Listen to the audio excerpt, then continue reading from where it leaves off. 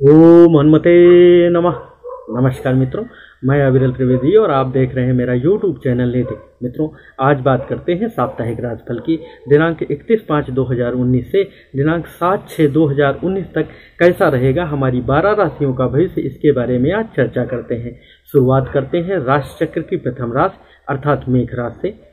इस सप्ताह स्वास्थ्य अच्छा रहेगा, आर्थिक स्थिति में सुधार होगा, चली आ रही समस्याओं का अंत होगा, विकास का कोई नया मार्ग प्रशस्त होगा, निवेश के अवसर प्राप्त होंगे, देव दर्शन की अभिलाषा पूर्ण होगी और लंबी यात्रा के योग बन रहे हैं। राशि चक्र की द्वितीय राशि अर्थात राशि इस सप्ताह स्वास्थ्य में सुधार होगा, आर्थिक प्रगति होगी, किसी रुके हुए कार्य के पूर्ण होने से आपके प्रभाव तथा वर्चस्व में वृद्धि होगी।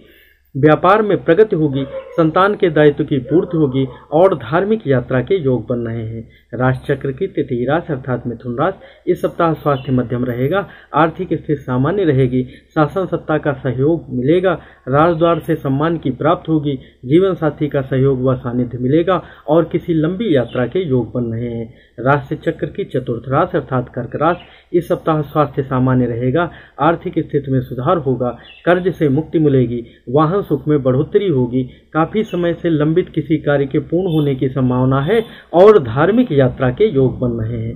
राशि चक्र की पांचवी राशि अर्थात सिंह राशि, इस सप्ताह स्वास्थ्य अच्छा रहेगा, आर्थिक प्रगति होगी कर्ज से मुक्ति मिलेगी। किसी महिला अधिकारी का सहयोग प्राप्त होगा। व्यापार में उन्नति होगी। संतान के संबंध में सुखद समाचार प्राप्त होगा और देव दर्शन के योग बन रहे हैं।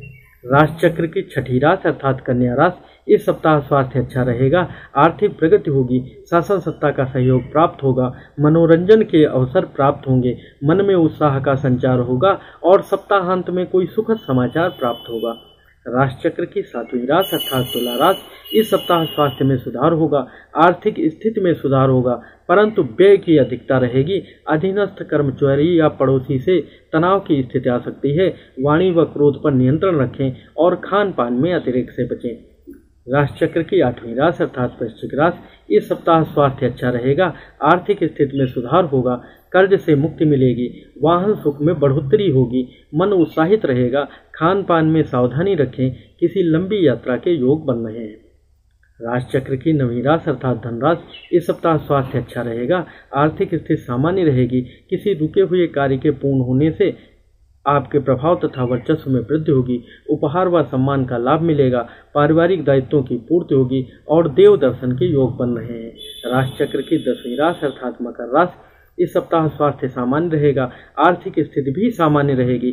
शासन सत्ता का सहयोग प्राप्त होगा, किसी समारोह में सम्मिलित होंगे, जीवन साथी के स्वास्थ्य के प्रति सचेत रहें और सप्ताहांत में कोई सुखद समाचार प्राप्त होगा। राशि की ग्यारहवीं रास अर्थात कुंभ रास इस सप्ताह स्वास्थ्य में सुधार होगा। आर्थिक प्रगति होगी। संतान के स्वास्थ्य के प्रति सचेत रहें। किसी लंबित कार्य के पूर्ण होने की संभावना है। मनोरंजन के अवसर प्राप्त होंगे और धार्मिक यात्रा की संभावना है। राशि चक्र की बारहवीं राशि अर्थात मीन राशि इस सप्ताह स्वास्थ्य अच्छा रहेगा, आर्थिक योजना को बल मिलेगा, व्यापार में उन्नति होगी, चली आ रही समस्याओं का अंत होगा, राजद्वार से उपहार व सम्मान का लाभ मिलेगा, संतान के दायित्व की पूर्ति होगी और विदेश यात्रा के योग बन रहे थे। मित्रों,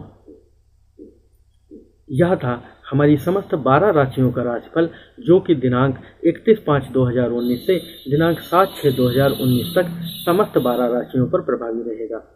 हमारे वीडियोज़ आपको कैसे लग रहे हैं? अगर अच्छे लग रहे हैं तो कृपया लाइक करिए, शेयर करिए और हमारे चैनल को सब्सक्राइब अवश्य करिए। आपका बहुत बहुत धन्यवाद बहुत बहुत आभार।